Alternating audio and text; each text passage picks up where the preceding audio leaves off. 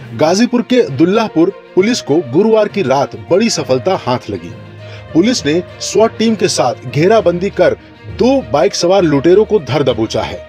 हालाँकि उनका एक साथी भागने में फरार हो गया है।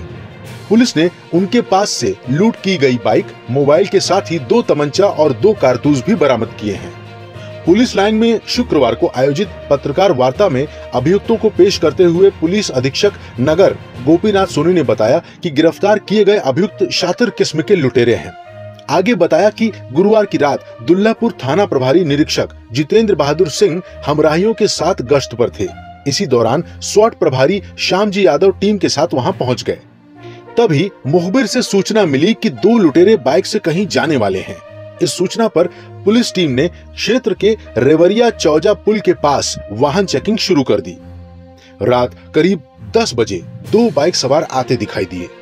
पास आने पर जैसे ही पुलिस ने उन्हें रुकने का इशारा किया, वो बाइक घुमाकर भागने लगे।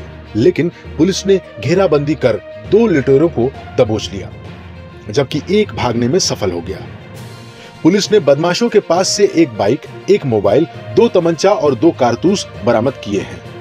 पूछताछ में गिरफ्त में आए बदमाशों ने अपना नाम मऊ जिला के चिरैया कोट थाना के अब्दोपुर गाँव निवासी गोविंद यादव और इसी थाना के समाउद्दीनपुर निवासी विनय यादव बताया। पूछताछ में बताया कि उनके पास बरामद बाइक और मोबाइल लूट की है।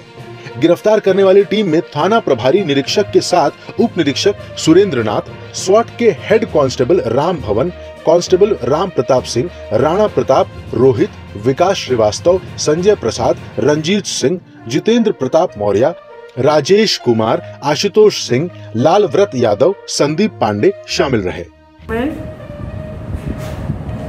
एक लूट हुई थी आपके जून महीने में। उस लूट में एक मोटरसाइकिल और मोबाइल छीना गया था, जिसमें मोटरसाइकिल और मोबाइल दोनों बरामद हुए हैं, जिसमें से दो लोग पकड़े गए, एक वांछित रखे गए हैं। और ये टीम ने हमारी स्वाट सर्विलांस टीम और यशो दूल्हापुर की पूरी टीम ने मिलकर इसमें काफ़ी मेहनत की और मेहनत के पश्चात ये सफलता प्राप्त की। गाजीपुर की ऐसी ही और भी खबरों के लिए हमारे YouTube चैनल पर बने रहिए, उसको सब्सक्राइब कीजिए और बेल आइकन को ज़रूर दबाइए।